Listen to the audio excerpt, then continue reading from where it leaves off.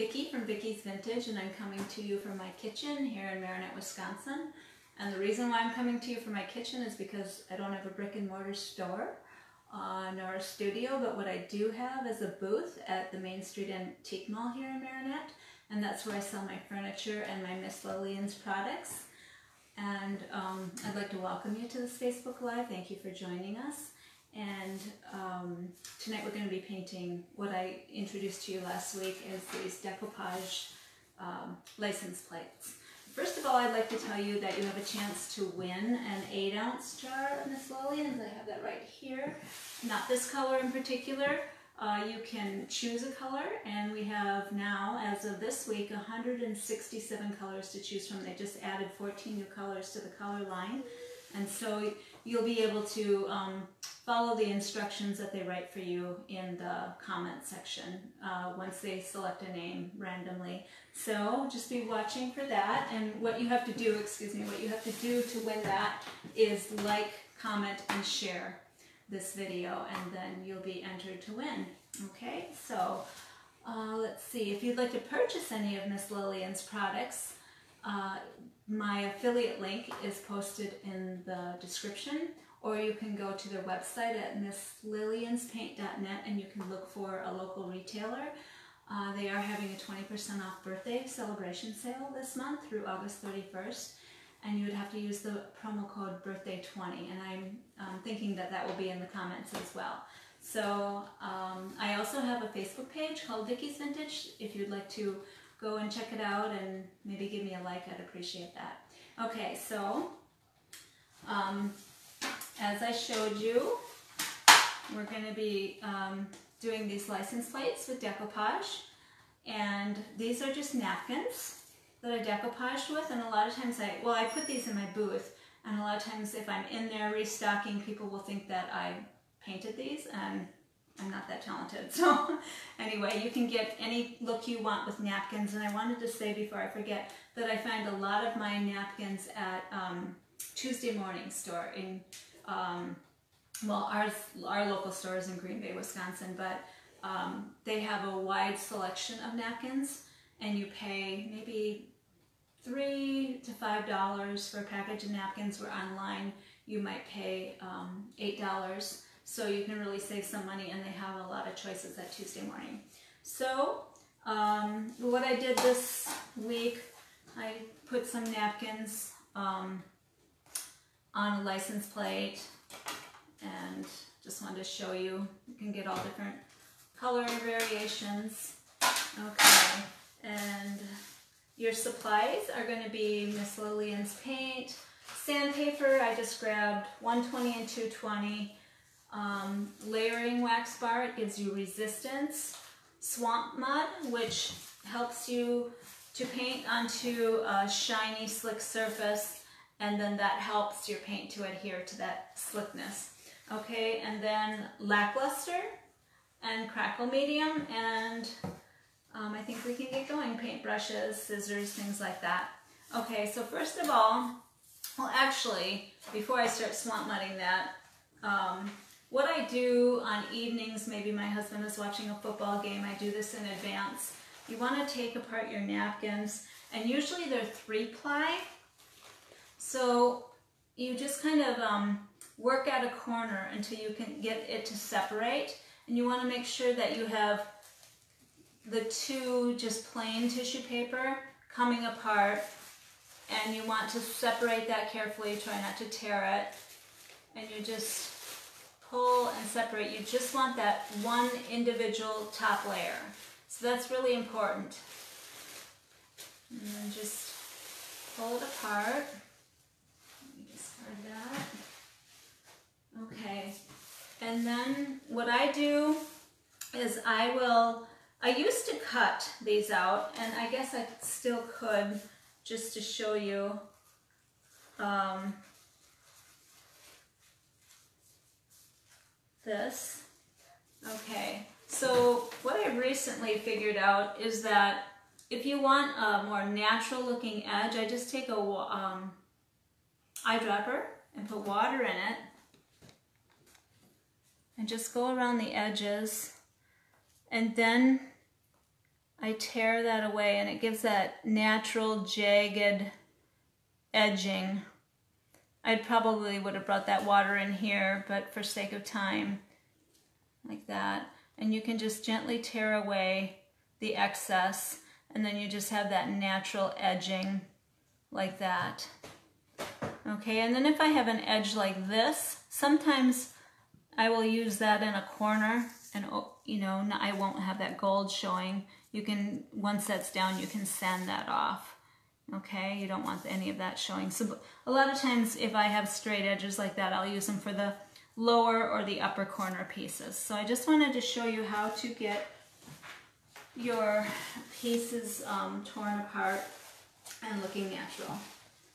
Okay, so then what I do is I will put all the pieces that I've cut out or torn out in baggies to get just with their individual napkin pieces so that I don't get them mixed up because then your colors aren't going to match if you get mixed up. So I just keep them in baggies separated like that. Okay, so your first step is to swamp mud it. Okay.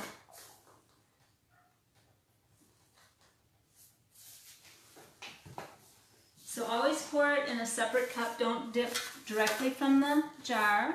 As I talked about last week, you will um, be introducing bacteria into your, your paints. So I just wanted to show you, boy, I didn't pour very much mud in there. Hold on. Okay.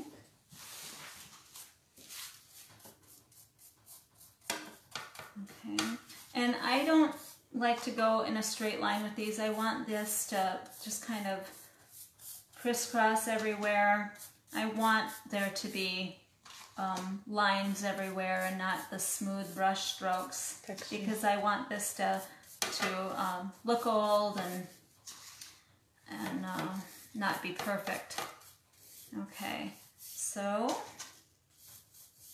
that's how you apply swamp mud and I'm going to get rid of this and let that dry. Okay, get rid of a few things here and make more room. Alright, so I have a license plate all done and the swamp mud is dry and um, um, not smooth anymore. I have a good surface to paint on.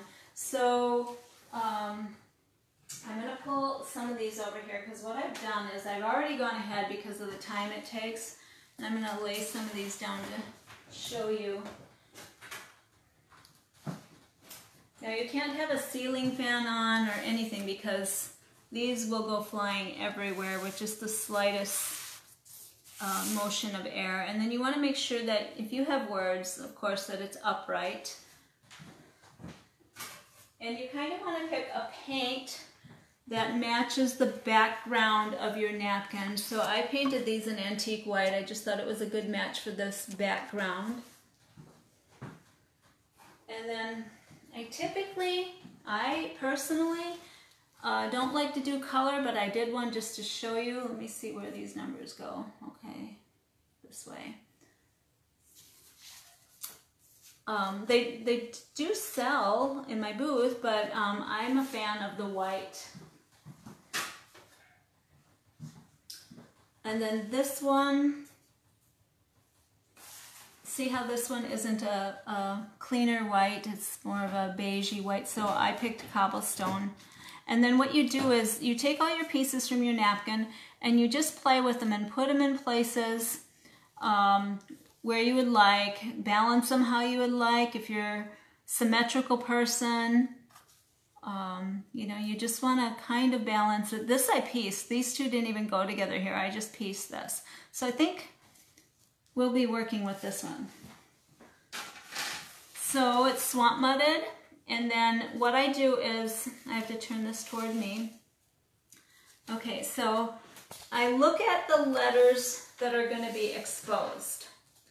Um, and I'm going to use our layering wax. So this is what it looks like. Okay, and what it does is it gives a resist to the paint.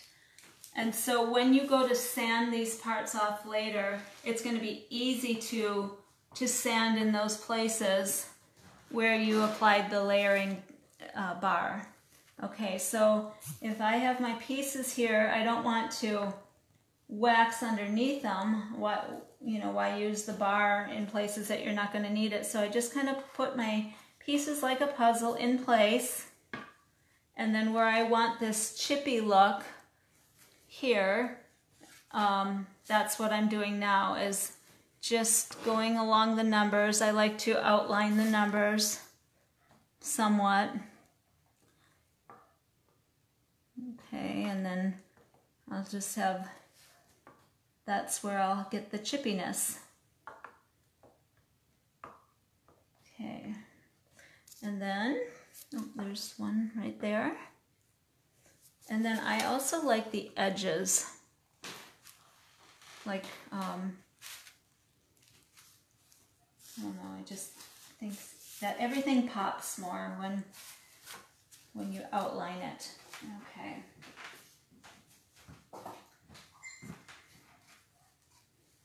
Then the other product I'm going to use today is our crackle medium. And again, you don't want to dip into this. Um, instead of using a brush though, I like to use my finger. And so I pour it onto my finger and I like to use a, a thinner layer rather than a thicker layer. And I'm just going to look in bare spots and just apply it to the license plate. Just um, not randomly, but um, just in places where I want a little bit of a crackle happening, a little aging.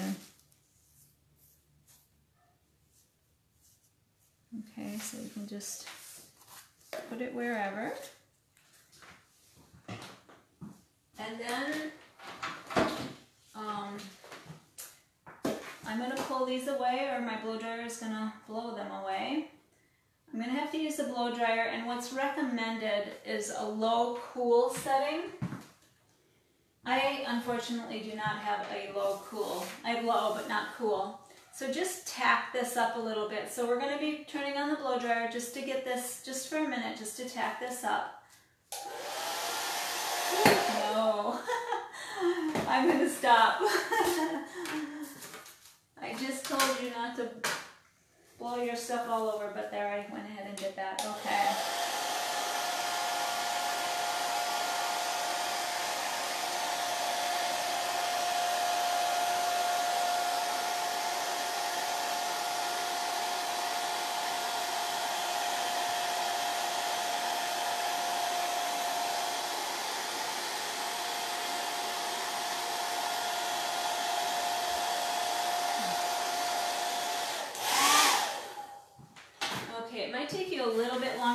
But I'm just going to go ahead for sake of time.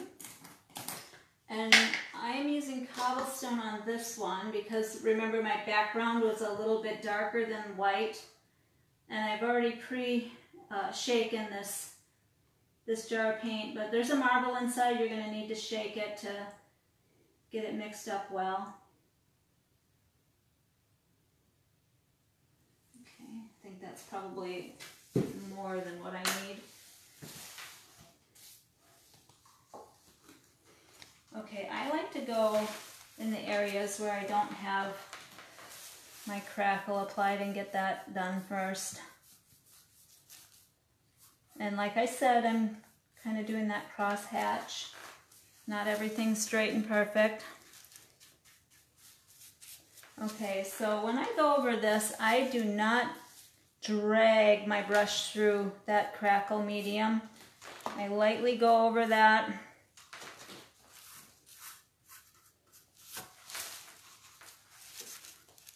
Maybe I didn't have enough paint. Let me see. A little bit more.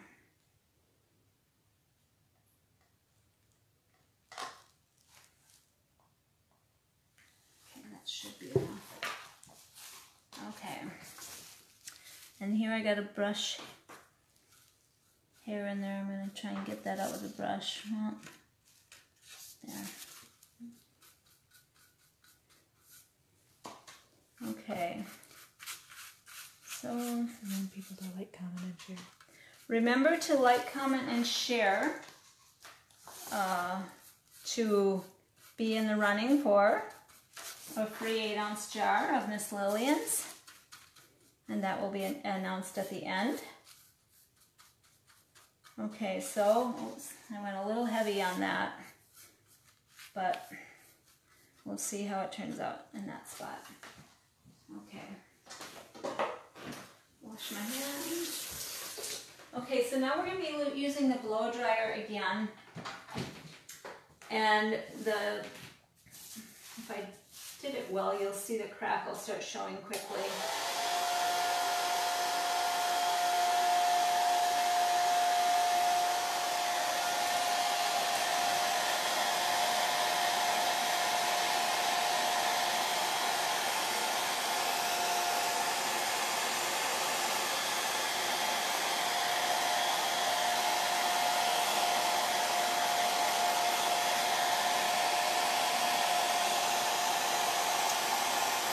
I'm gonna need some of this masking tape though.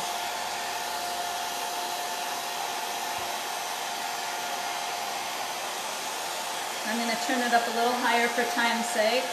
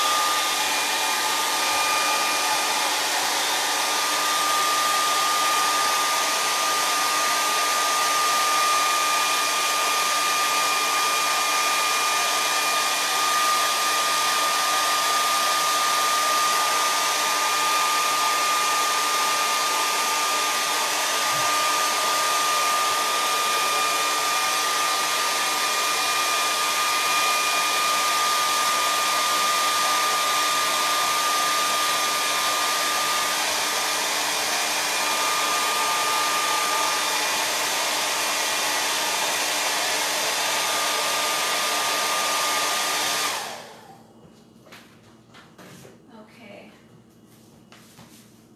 Now, right here you can see the crackling coming in, and that's how um, I should have it ever. I got another little hair right there. That out of there. Okay, and this is where I would um, normally go in, and actually I want to lay these back on to try and see where what numbers were sticking out so that I know where to sand.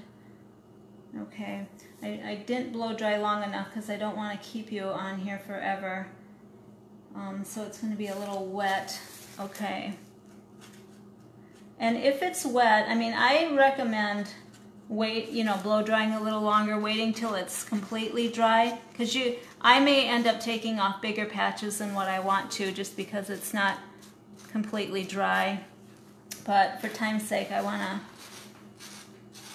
I wanna just show you the idea. And I, I don't mind when, when there are some big patches. I think it unevenly, you know, looks better. Okay, so I think I put a little of that on the seven. Yes, I did. Now see how easily that's coming off. I'm hardly pushing. If I would have not used the layering bar, I would be uh, rubbing and rubbing to get that paint off because the paint adheres so well. I don't know if I put it there, but okay. It just comes off so easily. I'm barely touching it. Okay, this is not dry yet. This I did not blow dry long enough, but I just don't want to keep you on here forever. Okay, so you can see how quickly that comes off wherever I've applied the layering wax bar. And then just show you along the edges too. See, I'm barely putting any pressure. Move this.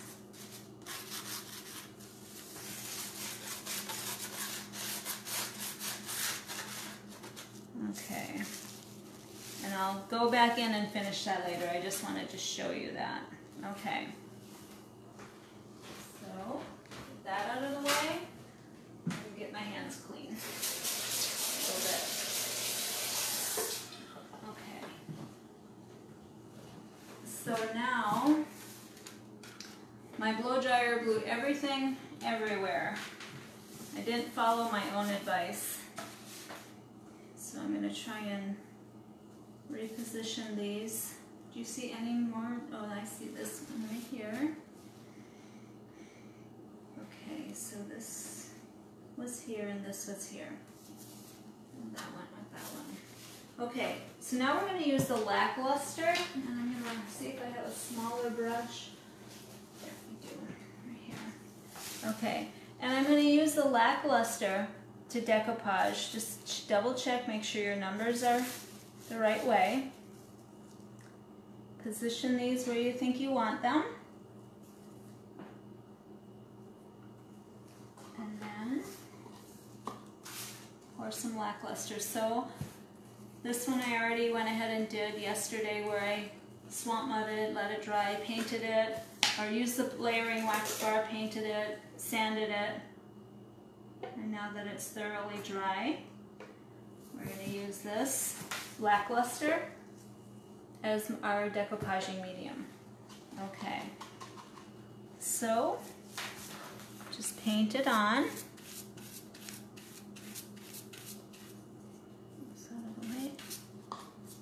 Make sure you have it adequately painted on and everywhere where it's going to be, otherwise it won't, it'll peel up. Okay, so position it.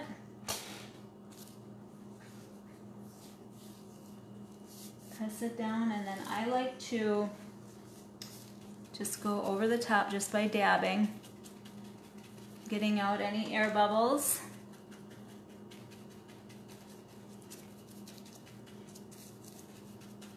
And you see how that color just starts popping through? Here's where I cut it. So this one must have been one that I cut and it's more perfect lines. And now I'm going for um, the ones where I tore. And I think I tore on a few of these, it looks like. Okay, so now I need to look at my words. They're upright. And just kind of eyeball where you have that. And get this generously applied.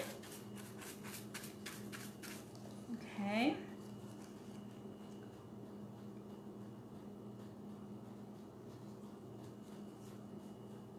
Tap that down.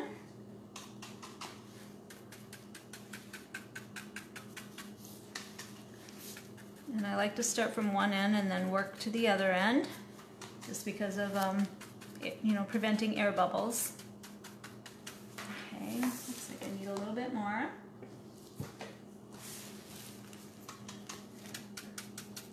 Okay, don't forget to like, comment, and share for your chance to win an 8 ounce jar of Miss Lillian's paint. Color of your choice. And there's a sale through August 31st. You can use my affiliate link or go to the website and try and find a retailer that's uh, located near you. Okay.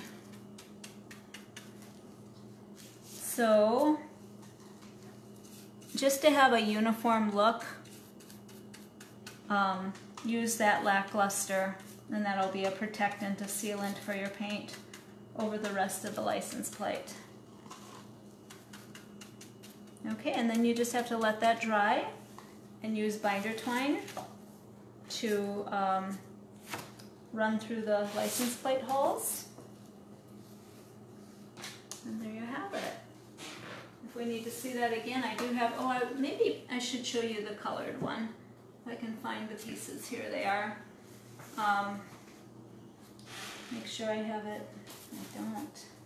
Okay upright and I chose that color because there was purple lavender in the background of the napkin but like I said typically I like to stick with a white background it's just my preference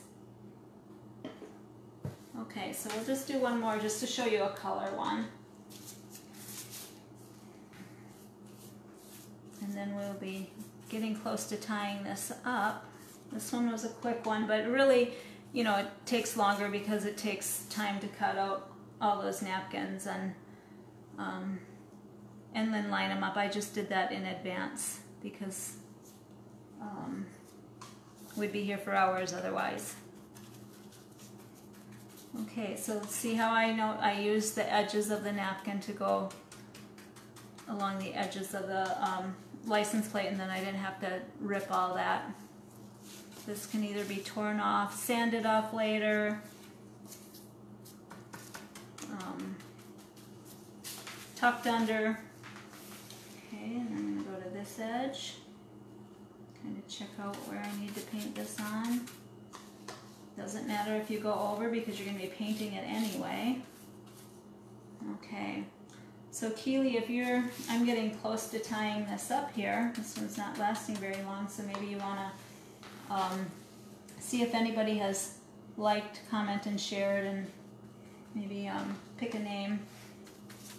So the folks at Miss Lillian's representative is on the other end, so if you have questions, she can um, answer them for you. If you have something directed to me, I can go on later and, and try and respond to you.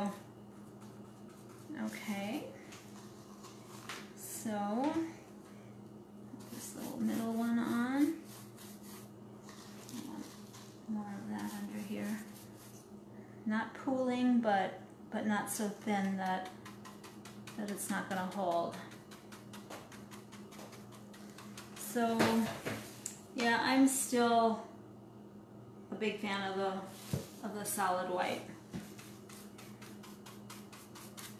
Now colors I like on my furniture, but for some reason um, they're not as appealing to me on the license plate, although, like I said, they sell in my booth. So there are people who love this, it's just your own preference. Or they have a theme in their home. Color theme, okay. So, color one versus the white. See that.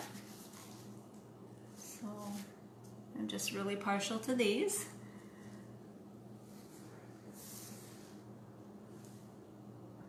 Okay, so hopefully Rihanna, have they have they selected? Have you seen? Not yet.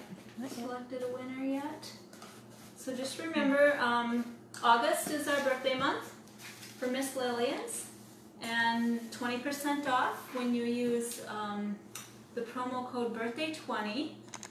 Um, and I have an affiliate link. It's posted in the description. You can go to Miss Lillian's website to find your local retailer if you have one in your area. Uh, and, and just waiting on a winner for the the Uh, there is a question. Do you seal with anything else? I seal with lackluster. They do have different sealants that you could find on Miss Lillian's paint.net. They have um, Duro Shield. They tend to have a higher sheen. I like the matte finish. So this is the one I use most often, even for my furniture. I have used the satin and I have used the Duro Shield for really high traffic traffic areas. But th this is going to be on a wall. You're not going to be touching it or grabbing it. I just use one coat on these. On my furniture, I use three to five coats of lackluster. But they do have other sealants. Brenda Wood. Brenda Wood. Wood. Brenda Wood, congratulations. You've won the 8 ounce jar. So um, you'll be able to go to the website or follow the directions that Keely posts for you uh, to pick your color choice and they will send that to you. So um, I hope you enjoyed this. I think I mentioned about the binder twine. I just want to mention it one more time. Uh, when you wrap that around, I just eyeball it. I don't have this measured. Um, I wrap it around twice. I tie, um, I can't remember, double or triple knots, but I hot glue in between each knot. Otherwise, this has a tendency to unravel really quickly. And you want that to, to stay intact. So these are popular in my, in my booth. So um, Brenda Wood, enjoy your jar of 8 paint. And um, I would love it if you post a project on my Vicki's Vintage page of what you did with it. Okay, thanks for joining me. Good night.